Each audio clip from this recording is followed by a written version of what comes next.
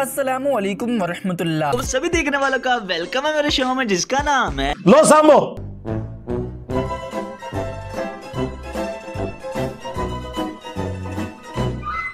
मैं तमाम हजरात ख़वातीन के लिए ये ऐलान कर रहा हूँ सुबह नफली रोज़ा रखा जाए।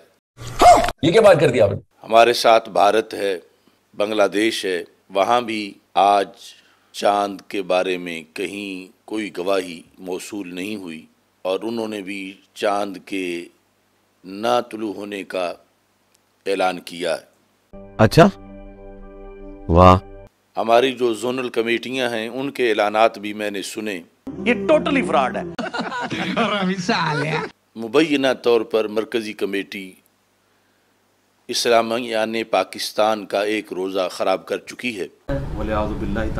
सब कहानी चल रही है ना। सिर्फ़ मौलवी नहीं कहानी करा रहे पूरा मुआशरे कहानी थे चल रहा है। इख्तिसार से ये अर्ज़ करना चाहता हूँ। मौजूदा ऐलान की बुनियाद पर भी एक शक की कैफियत मुल्क में पैदा हो गई है। जी बहुत नाजुक सूरत हाल है। इस बुनियाद पर जितने लोग मुसलसल लगातार फ़ोन कर रहे हैं मैं सब के लिए लाइव आया हूँ ताकि शरी ज़िम्मेदारी पूरी की जाए। वाह सुबह अल्लाह।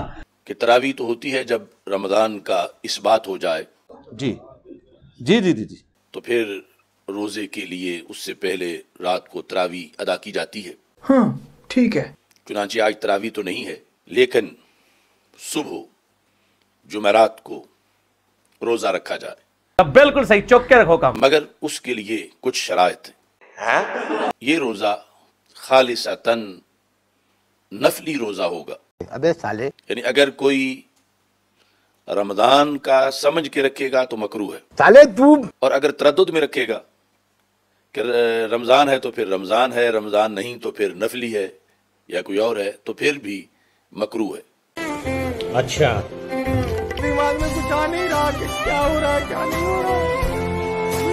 खालिसतन नफली का ये मतलब है कि दूसरा कोई ख्याल जहन में ना लाए।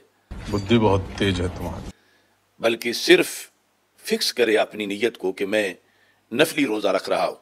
इसके बाद जब साबित हो जाए कि ये दिन वाकई शाबान का दिन था शक ख़त्म हो जाए दलाइल से तो फिर वो शाबान का शुमार होगा। और अगर दलाइल से साबित हो जाए कि रमज़ान शुरू हो चुका था तो फिर वो रमज़ान का रोज़ा शुमार होगा। ये क्या है? यानी सबका रोज़ा कज़ा नहीं होगा। तो इस बुनियाद पर मैं तमाम हजरात ख़वातीन के लिए ये ऐलान कर रहा हूँ कि सुबह नफली रोज़ा रखा जाए योम शक में नफली रोज़ा ही रखा जा सकता है। ठीक हो गया जी। रमज़ान का रोज़ा रखना वो भी नाजायज़ है। और तरद की हालत में रोज़ा रखना कि अगर रमज़ान है तो फिर रमज़ान का रोज़ा है अगर नहीं तो फिर दूसरा रोज़ा है तो वो भी जायज़ नहीं वो भी मकरू है। क्या बोल रहा है? कुछ समझ में नहीं आ रहा है। ये फिक्स आपने नफल की नीयत से रोज़ा रखना है। मीनवाइल दबा दिया! आगे बोलो! नहीं दबाना था। प्रैंक हो गया आपके साथ।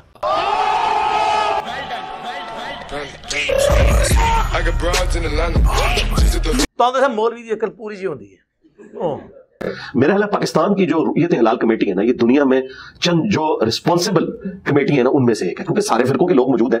और वो कोई, उन्होंने आम लोग नहीं रखे हुए, बड़े उलमा रखे हुए और वो एग्री करते हैं, और उसमें वो एडिंग डिवाइसेस भी यूज़ करते हैं, ठीक है? ऐसा नहीं है कि वो सिर्फ़ नेकेड आँख से ही देख रहे होते हैं। दूरबीनें लगाई हुई होती हैं, महकमा मौसमियात के लोग भी उसके मेंबर होते हैं, और रुयत को वो कंफर्म करते हैं। बाकी ये जो ख्वाहिश करना ना कि जी सऊदिया के मुताबिक कर लें या पूरी दुनिया में एक हो ये तो मसला ही बिल्कुल गलत है। और ये वो मसला है जो पहले का सेटल्ड है। मुस्लिम शरीफ में हदीस है कि हज़रत अमीर माविया रदी अल्लाह तआला के दौरे मलूकियत के अंदर एक शख्स शाम से मदीना शरीफ आया। और फ़र्क यह था कि शाम में एक दिन पहले रोज़े स्टार्ट हुए हुए थे। और मदीना शरीफ में एक दिन बाद। तो इब्ने बास ने उससे पूछा तो उन्होंने कहा वल्लाह हमने तो चाँद उस वक्त देखा उन्होंने कहा हमने तो इस वक्त देखा। तो उन्होंने कहा फिर उनके रोजों का क्या होगा? उन्होंने कहा वो अपनी रुयत को फॉलो करेंगे हम अपनी रुयत को।